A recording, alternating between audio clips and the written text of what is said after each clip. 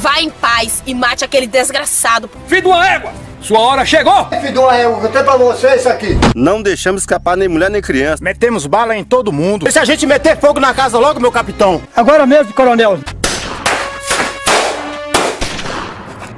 Você já está morto, Nogueira. Mas eu vou te dar uma chance pra você sobreviver. Por que a gente não leva essa menina e pede dinheiro pelo resgate? A única coisa que vocês vão receber aqui é muito chumbo grosso. Olha, menina. Coronel de calça curta!